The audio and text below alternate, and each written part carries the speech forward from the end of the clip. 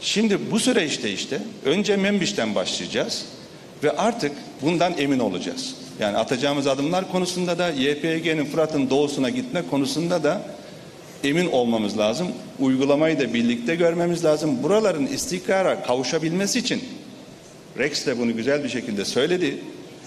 Bu şehirlerin kimin yöneteceği, güvenliğini de kimin sağlayacağı çok önemli.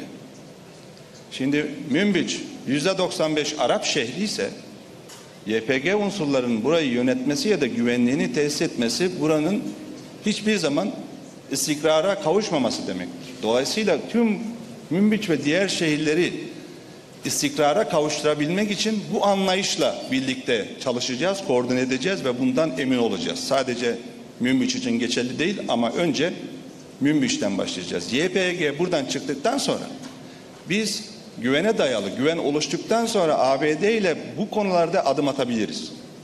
Ama önce YPG'nin tabii buradan bir an önce çıkması lazım. Bu her şeyden önce ABD'nin bize vermiş olduğu bir söz ve bu sözün nasıl tutulacağını uygulamada da bu çalışmamız için de ele alacağız. Teşekkür ederim.